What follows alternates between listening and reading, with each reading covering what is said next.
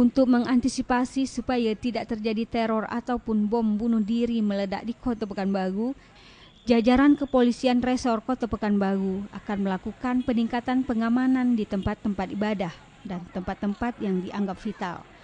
Pengamanan ini dilakukan baik secara terbuka dan tertutup Kapolresta Pekanbaru Kombes Polisi Adang Ginanjar menghimbau kepada masyarakat supaya melaporkan jika ditemukan adanya barang serta orang-orang yang dianggap mencurigakan. Nah, kepada masyarakat juga mengharapkan juga masyarakat juga seperti biasa menjalani kegiatan-kegiatan biasanya ada informasi-informasi yang mencurigakan segera melaporkan ke Polsek maupun ke Polres eh, supaya kita dapat mengantisipasi. Selain melakukan himbauan dan pengamanan di beberapa tempat-tempat ibadah dan tempat-tempat vital, pihak kepolisian juga mengharapkan masyarakat supaya meningkatkan kegiatan siskambling untuk mencegah masuknya pelaku-pelaku bom bunuh diri tersebut.